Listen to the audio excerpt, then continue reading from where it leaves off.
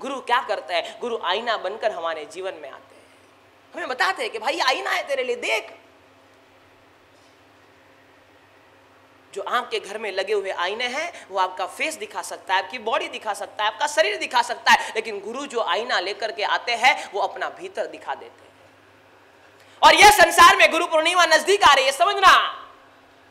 यह संसार में एकमात्र गुरु तत्व ऐसा है जो आपको आईना दिखा सकता है। बाकी संसार में कोई इंसान, कोई व्यक्ति, कोई ताकत, कोई शक्ति, कोई इंसान आपको आईना नहीं दिखा सकता। आईना दिखाने की ताकत मात्र और मात्र गुरु के पास है।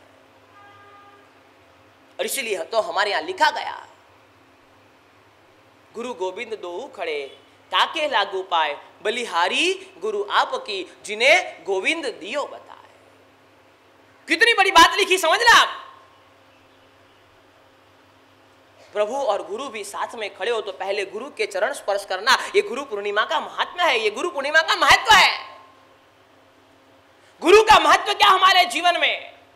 ये प्रभु है, उसका परिचय कराने वाले भी एकमात्र गुरु है और कोई नहीं है। ये संसार में ये परमात्मा है, इनको वंदन करना चाहिए, इनकी पूजा करनी चाहिए, इनकी सेवा करनी चाहिए, इनके पास जाने, जाना चाहिए। ये बताने वाले, मार्ग दिखाने वाले भी एकमात्र संसार में हमारे गुरु है। इसलिए मैं आपसे कहना चाहता हूँ कि जीवन में बराबर समझ लेना, आपके घर में लगा हुआ आईना आपका फेस दिखा सकता है, आपका चेहरा दिखा सकता है, आपका शरीर दिखा सकता है, लेकिन गुरु जो आईना लेकर के आते हैं, वो आपकी भीतर की दृष्टि को खोल देते हैं। आपका भीतर आपके सामने ओपन कर देते हैं। भाई, तेरे में दुर्गुण है, तेरे में दोष है, तेरे में पाप है, तेरे में गलती है, तेरे में खराबी है, तेरे में गलत चीज़ें हैं, तेरे में गलत गलत क्रोध कसाय आदि सब कुछ भरा हुआ है। बच जाना, जाग जाना, ये आईना गुरु दिखाते हैं। और इसीलिए मैं आपसे कहना चाहता हूँ, धूल अपने चेहरे पर थी और आईना साफ़ करते वंदन करना गुरु के चरण में कि गुरु आप आए हो हमारे जीवन में आईना दिखाने के लिए। आप नहीं आते तो हमें कौन दिखाता, कौन सिखाता, कौन बताता? तीन लोक नवखंड में गुरु से बड़ा न कोई। बराबर समझना बात को?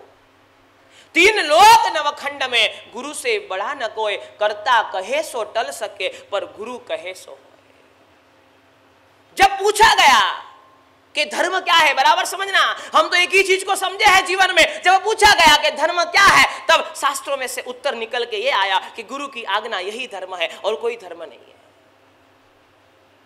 हमारे पंडित जी हमें सिखा कर गए। कहा कि सारे शास्त्र एक तरफ़।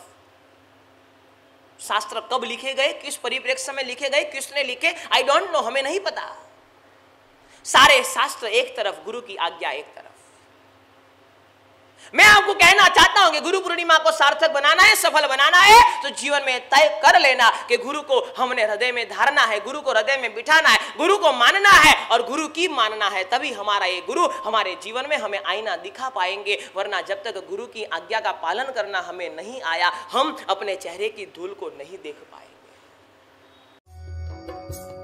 प्रेम भक्ति, आराधना, प्रवचन के अद्भुत संगम से जुड़ने के लिए सब्सक्राइब करें गुरु प्रेम मिशन की यूट्यूब चैनल को और ताज़ा अपडेट के लिए बेल आइकन पर क्लिक करना ना भूलें।